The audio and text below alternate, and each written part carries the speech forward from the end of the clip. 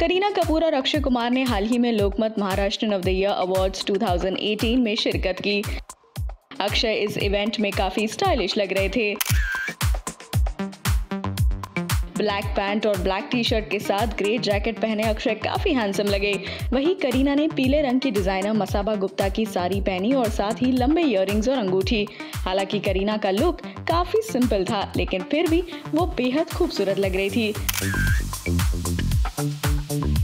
अक्षय को social influencer award मिला। उनके फ़िल्म टॉयलेट एक प्रेम कथा और पैडमैन के लिए। वही करीना को पावर आइकॉन अवार्ड मिला। अक्षय बहुत ही जल्द उनके आने वाली फ़िल्म गोल्ड में देखेंगे, जिसे डायरेक्ट किया है रीमा कागदी ने। और करीना बड़े पर्दे पर वापसी करेंगी उनकी फ़िल्म वीरे दी वेडिंग से। बॉलीवुड की कुछ और खास खबरों के लिए हमें लाइक सब्सक्राइब और शेयर करना ना भूलें।